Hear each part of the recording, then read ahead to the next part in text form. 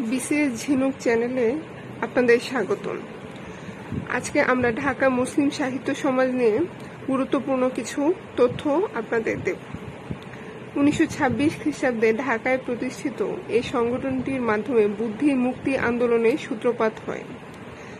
এর মুখপাত্র হিসেবে উনিশশো সাতাশ সালে আবুল হুসেনের সম্পাদনায় শিক্ষা পত্রিকা প্রকাশিত হয়।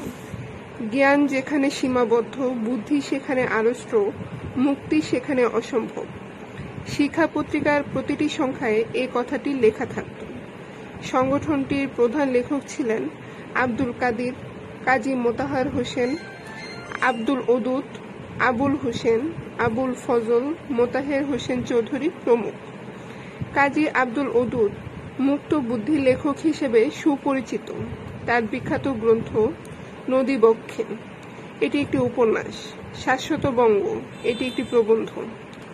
আবুল ফজলের উল্লেখযোগ্য গ্রন্থ রেখাচিত্র।